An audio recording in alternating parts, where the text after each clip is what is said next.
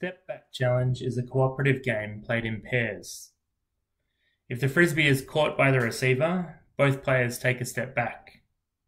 If the frisbee is dropped or hits the ground, both players take a step forward.